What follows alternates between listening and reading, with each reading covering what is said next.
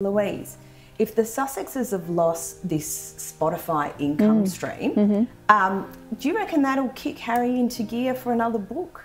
Well, that's $29 million they're not going to get their hands on, the Spotify deal. Look, possibly he may have more fuel in the tank, as it were, but I think Meghan's the dark horse here. I think it's maybe time for her to unleash her tell all memoir because the whole Oprah thing, isn't it is terrifying as well. And also, that although the royals can't really control Harry, they certainly cannot control Meghan, and she will talk and talk and talk. So there's no way of um, nipping that in the bud at all. So I'd see more danger coming from her autobiography, her truth, mm. which would be Oprah on steroids, I think.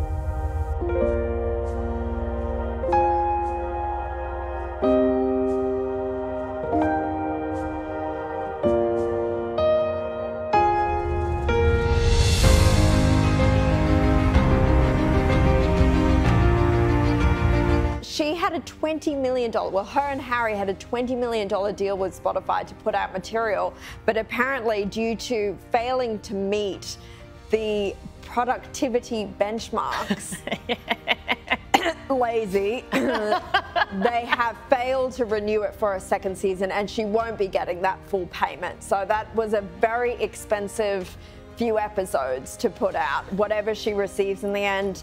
Um, I mean, colour me shocked. This is a couple that thought attending a few ribbon cuttings and shaking hands of royal fans was too much work, that they had to abscond to the privacy of their Californian home In, on their um, privacy tour. But